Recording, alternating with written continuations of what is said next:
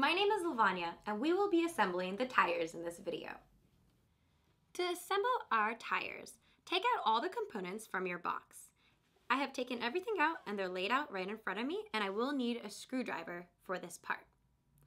The first thing we want to do is take out our wheel hubs from this plastic bag.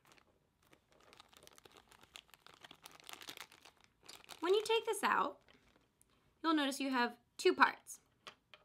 We are going to be using the tool, which is right here, and I'm just going to slowly twist it off and put it to the side. We will also be using the wheel hub for the hex shaft. So if you notice, these two wheel hubs look different. We are choosing the one with the longer cylindrical shape. Twist it off, and that's one. I'm gonna put this to the side because I don't need it. And I'm also gonna take off the second wheel hub for the hex shaft. Again, it's that longer cylindrical shape. And put this to the side. Now we are gonna assemble our rims with some screws and connect it to our wheel hub for the hex shaft. So I'm gonna take out the following screws and nuts from my bag. Make sure you have an open space so you don't lose any of the pieces. Let's take our rim.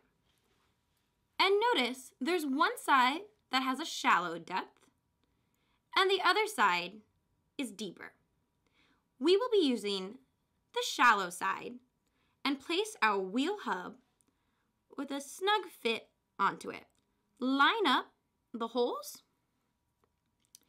and then take one screw, place it in, and now I'm gonna go ahead and put my nut on and tighten it.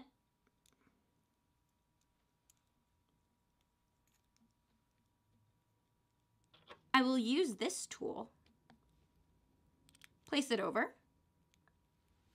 and then as I'm holding it, I'm going to take my screwdriver and screw it in. The tool is holding the nut, so it allows me to tighten the screw very easily. And you keep going, and you're gonna do that for all three holes in each of the rims.